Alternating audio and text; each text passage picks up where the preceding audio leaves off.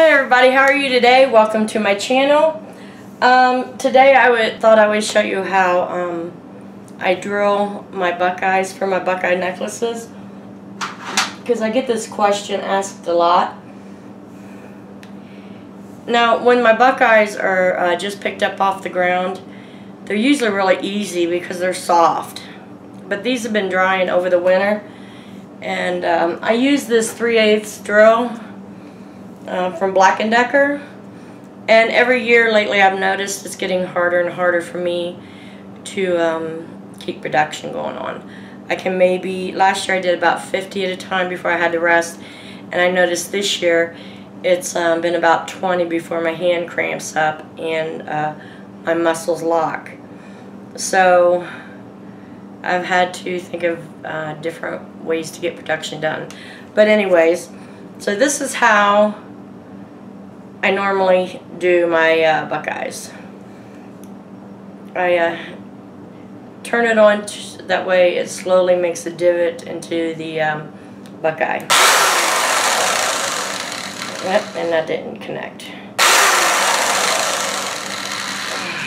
Have a connection there. Made, made a little divot in there. And we have a hole.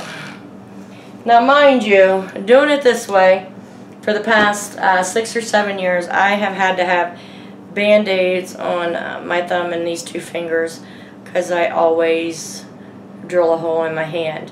And then when I have the bandages on, I wind up catching the end of a band-aid and it's twisted on my hand about cut my finger off. So I decided to do something else this year. And my last game was profitable enough to where I was able to purchase a mini drill press. So here is my baby. And this will be the first time I'm using it. So I am going to put my drill bit into um, this one here and then I'll be right back and we'll see how it works together. Okay, so now I have everything set up and I have a buckeye here. I all the eye of the buckeye I always try to drill right on top of that. So we're going to turn it on.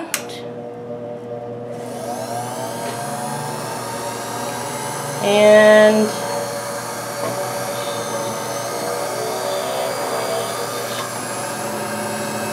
it didn't go all the way through. So I have to adjust it.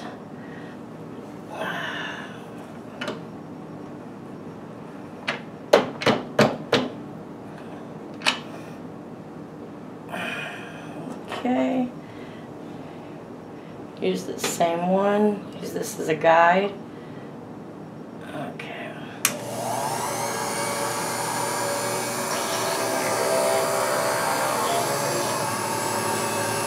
Still didn't go all the way through.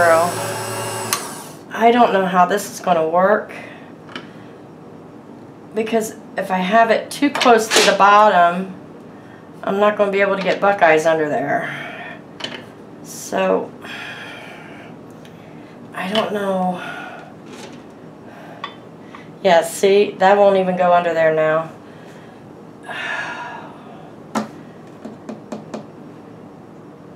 So what I have to do is try to find, get a longer drill bit to where it can be a little higher. Um, let me see if I can find another one here that we can use. Yeah, it's just not going to work. It just won't uh, go up. So that was a fail. I am sure there's a way that I can um, that I can get it to work correctly. Um, maybe someone that's more um,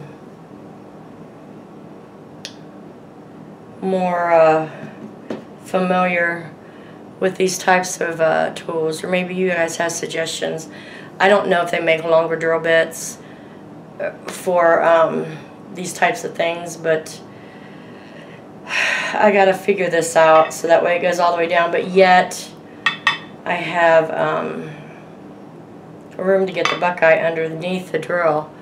So if you have any suggestions, let me know, please. Um, or if I can't figure anything out, I have 30 days to send it back. So I was so excited too, but it looks like it's a fail. Um, so, yeah. If you like my videos, please subscribe. Give me a thumbs up. And I will see you guys uh, tomorrow. Have a good day. Bye.